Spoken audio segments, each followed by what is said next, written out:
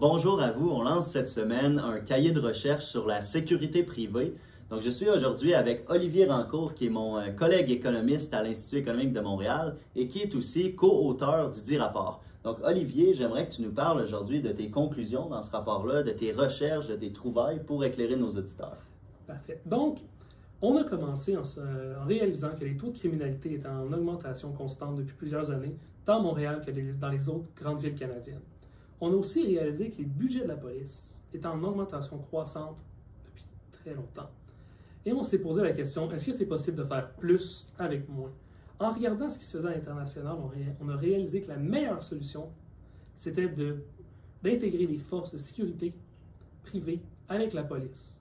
Là, on sait le coût de la vie augmente, les logements coûtent plus cher, la nourriture coûte plus cher.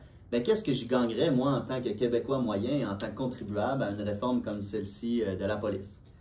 Le salaire médian d'un policier au Québec, incluant les avantages sociaux, est de 117 000 Le salaire médian d'un agent de, sécurité, lui, est à 49 000 Donc, c'est plus de la moitié du salaire qui est épargné par les contribuables.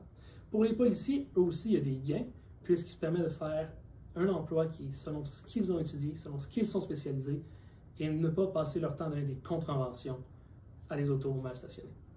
Merci beaucoup pour les explications, Olivier. Donc, je vous invite à aller consulter ce cahier de recherche-là à iedm.org. Merci, bonne journée.